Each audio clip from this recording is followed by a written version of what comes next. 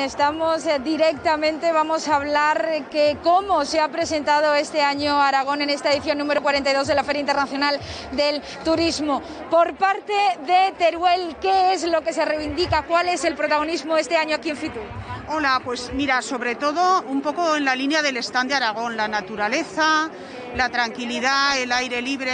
La gente demanda rutas tanto en moto como en coche. La Silent Route, por ejemplo, está triunfando. Eh, pueblos con encanto, en fin, todo lo que sea. Turismo rural, sí, muy en la línea de, de lo que es el stand de turismo de Aragón. ¿Cómo te llamas? Soy Serafina Bog. Serafina, que llevas aquí desde el día de ayer y vas a estar aquí hasta este domingo. Hasta el domingo, sí. Bueno, y además todas las consultas van también en esta línea, ¿eh? Mucha tranquilidad, espacios abiertos y poder disfrutar de, de la naturaleza.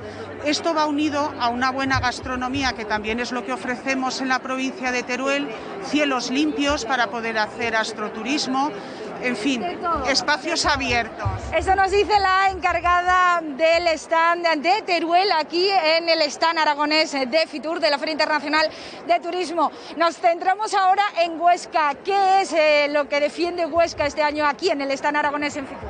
Pues mira, por un lado tenemos las diferencias patrimoniales, tenemos por ejemplo castillos y rutas culturales, también de naturaleza, aunque eso ya se me conoce un poquito más, y luego por otro lado tenemos la propia localidad de Huesca, que también es un poco la desconocida, pero que es impresionante con su patrimonio y su ruta gastronómica.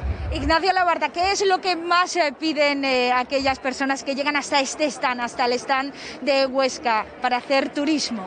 Pues de momento, como están viniendo las empresas, están pidiendo un poquito más guías de servicios, información para hacer planes organizados con grupos, pero esperamos que para el fin de semana, que va a venir el público ya de calle, pues que se promocione un poco más viajes familiares, se promocione un poquito más rutas que hacer en un día y demás.